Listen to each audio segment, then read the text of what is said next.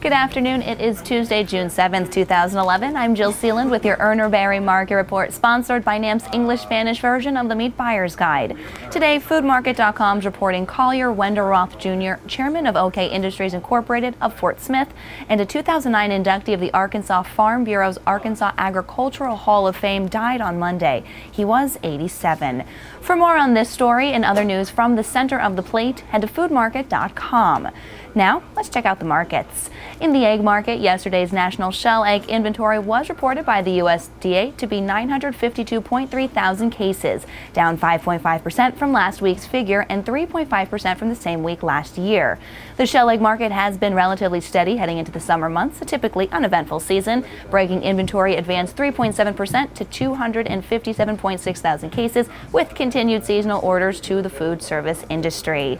Looking at poultry, chicken market conditions conditions remain rather flat and basic in nature across most points of sale. Sources are monitoring the recent surge in heat relative for any potential to have lower bird weights occur. So far, reports are inconclusive to that happening on a broad scale. Mostly all listed lines are adequate to handle spot needs. Cutlets and tenders are no better than barely steady. Dark meat is holding close to listed quotations. Wogs and whole birds are bouncing along and rated about steady to steady.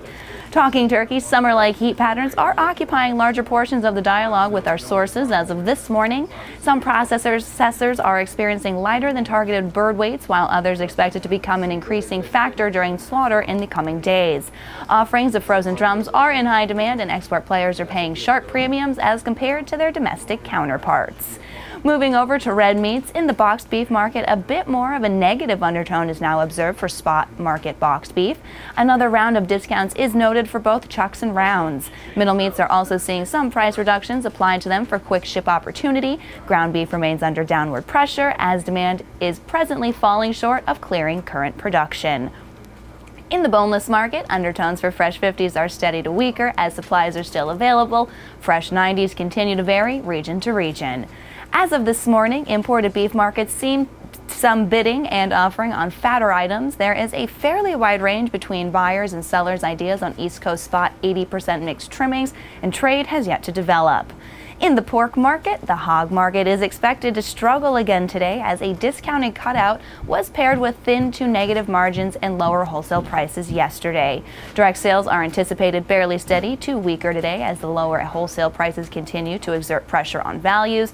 Terminal markets are rated steady to slightly weaker. Thus far, hams are rated mostly steady, bellies are steady to slightly weaker, trimmings maintain a mostly steady to slightly firmer tone as product thins, availability of fresh pork is growing, and retail pork products carry, carry barely steady to weak ratings. That wraps up Urner Barry's Market Report, brought to you today by NAMP's English-Spanish version of the Meat Buyer's Guide, featuring a side-by-side Mexican-Spanish translation of the English text. Call 800-932-0617 to order your guide today.